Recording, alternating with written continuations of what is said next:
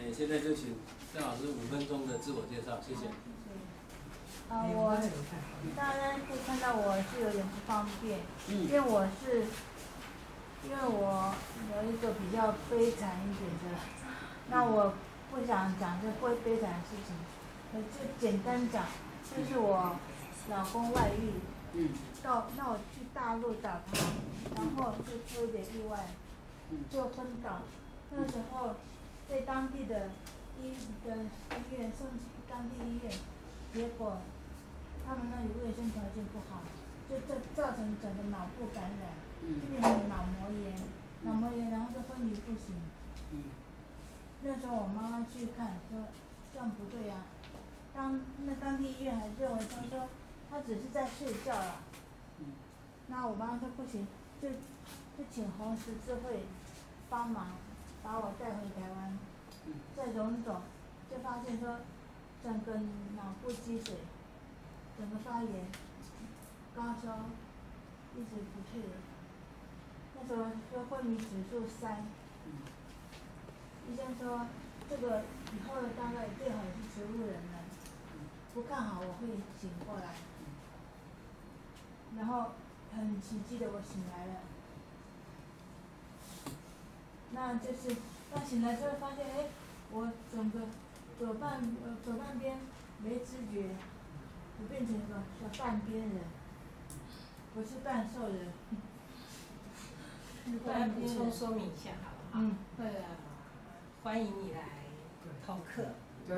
他本来很有才华，他是我们学校顾弘毅顾老师的女儿，哈，是因为他很有才华。嗯。那先生呢，也帮助先生成家立业，然后先生在大陆外遇啊，拿去找先生，那发生了不幸啊。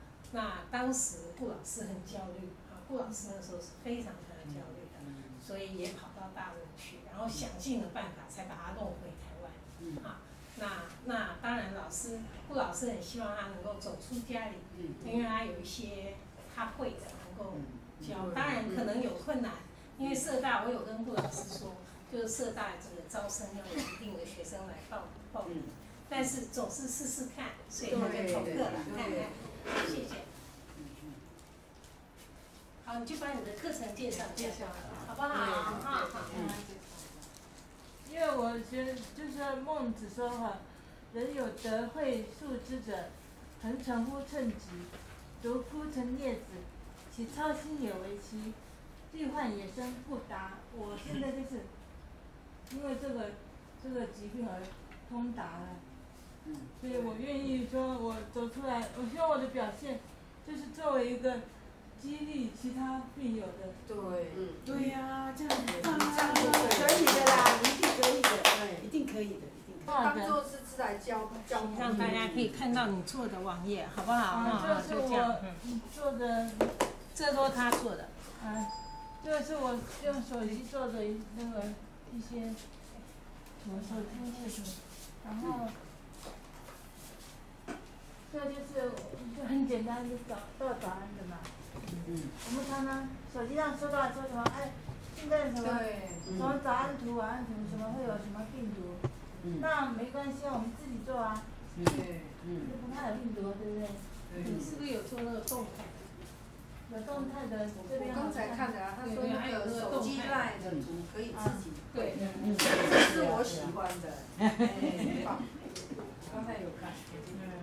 然后我们可以用这些美美美的图，然后表达我们要表达的话，让人家不会反感。对，嗯。但是我要说的话，我用用好看的图，人家一看，视觉上感觉好，就不会有有那个反感。对，嗯。这样我也能表达我要表达的。嗯。比如说有一些想法。嗯。就是我我这边有写，嗯，嗯嗯。那我之前有一张写说，陪伴就是最长情的告白。嗯。所以就发给一些一些夫妻啊，让他们看一下。有的人会抱怨说，这个老公怎样，老婆怎样，就是，就告诉你说，那陪伴就是最长情的告白了，对不对？我这样发给人家，很多人看了很感动。嗯。嗯。这就是我要表达的，我不用讲很多的大道理，嗯那只要一个图片就能表达那个意思出来。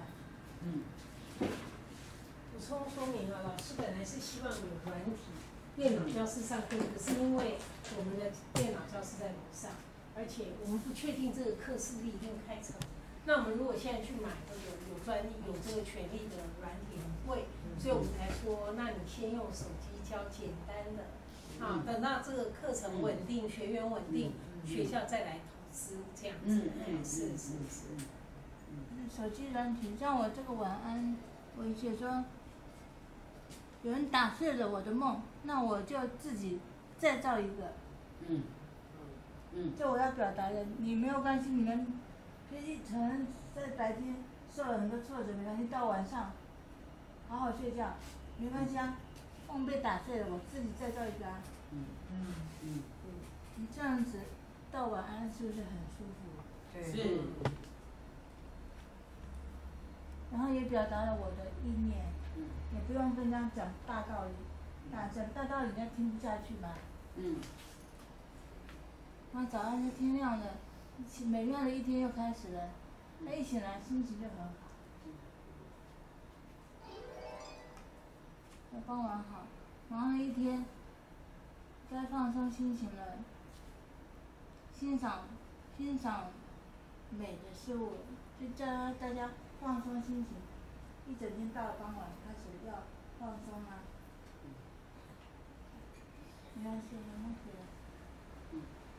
这个是我以以前画的，手画的，以前来哈宝以前画的，这是原稿。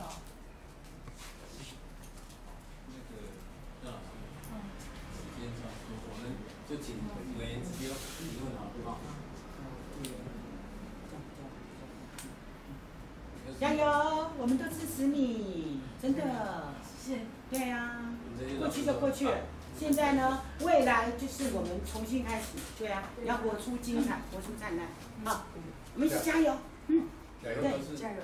同事，对对对呀，希望你你加油。还可以去上上，你有我们，哎，对对，对，加油，可以的。哎，对不要流眼泪。嗯，对呀，嗯，哦，加油，好，哦你还有我们，你还有我们。就是谢谢。周凡，嗯，对。